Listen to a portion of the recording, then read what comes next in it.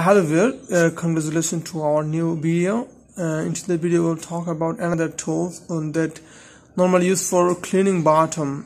You know the to make the surface totally plain the water level. You know this this kind of tool normally used.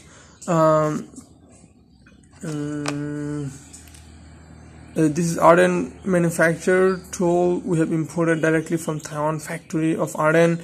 Uh, you can get um, with wholesale price. But quality must be granted and very good service. And you can get those tools from us and with cheapest price. And quality must be best than anyone else.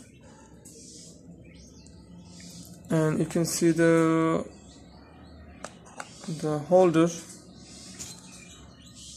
uh, no sorry the cover the box see? This kind of tool.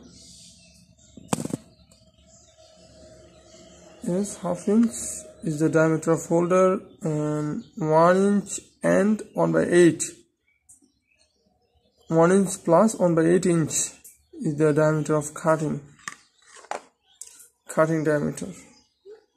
The cutting diameter is 1 and 1 by 8 inch the holder is uh, 7 by 8 inch. Thank you beer uh, see you in next video